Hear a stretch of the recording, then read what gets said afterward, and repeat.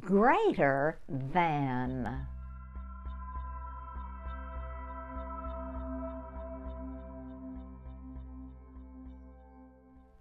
Jesus said in Matthew 11, verse 11, There has not risen anyone greater than John the Baptist, yet he who is least in the kingdom of heaven is greater than he.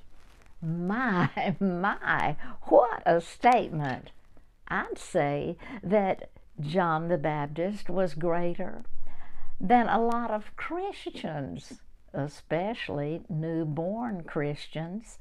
I bet you would too. And yet, this is what Jesus said. But let's look at this from another perspective. This means that Jesus considered him greater than Moses.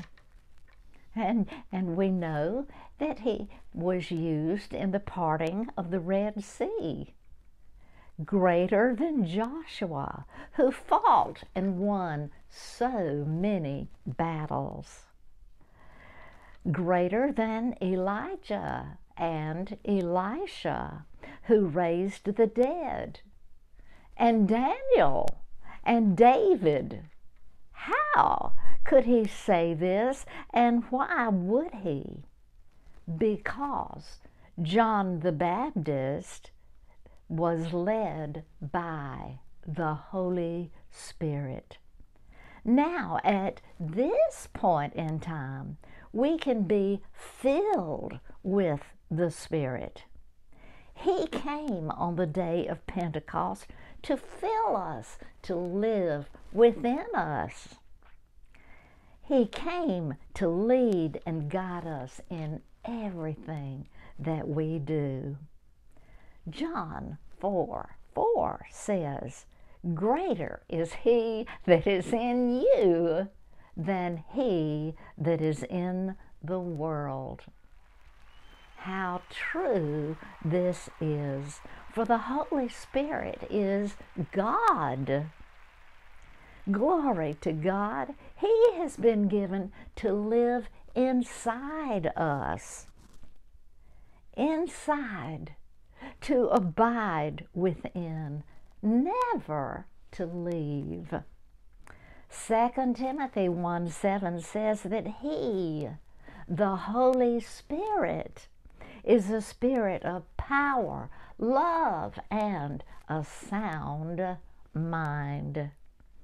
That is precisely the reason the next scripture is true.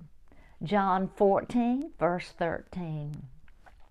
Anyone who has faith in me, Jesus that is, will do what I have been doing, and he will do even greater works because I go to the Father. Praise God. This is true of anyone who has faith in Him because He has faith in you. Let's pray. Jesus, thank you for your great and high call for me. I put my faith in you. I thank you for putting your faith in me. Amen.